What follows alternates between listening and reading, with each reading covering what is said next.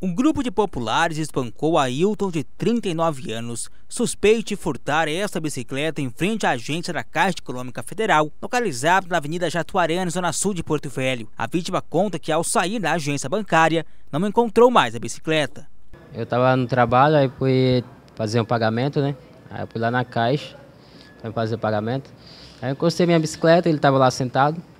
Aí eu coloquei minha bicicleta, estava sem cadeado, falei assim, ah, é rapidão que eu vou fazer o pagamento, né?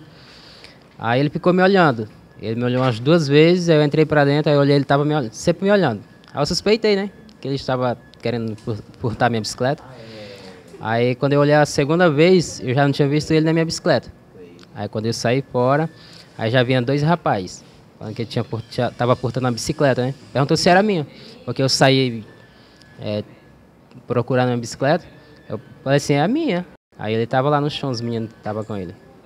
A polícia militar foi chamada e Ailton encaminhado até a central de flagrantes.